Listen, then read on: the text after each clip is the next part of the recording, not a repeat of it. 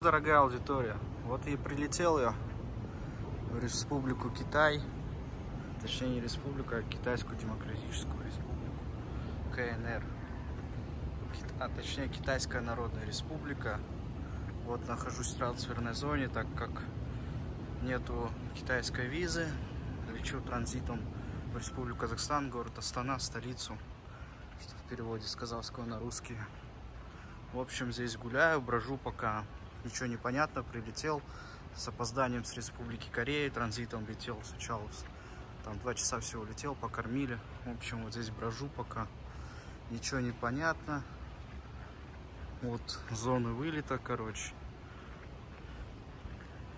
походу так и буду здесь, короче, бродить, получается, в Китае. А потом вылечу отсюда, потому что вот гейты выли... Ну, практически как будто не поменял локацию. Поменял Республику Китай на Республику Корея. В общем. Вот так в целом выглядит. Вот Китай. Ну, интересно. Сейчас будем, правда, искать, где зарядить телефон, а то зарядка садится. Вот в целом вот так. Прикольно здесь даже электропоезда ходят внутри самого аэропорта.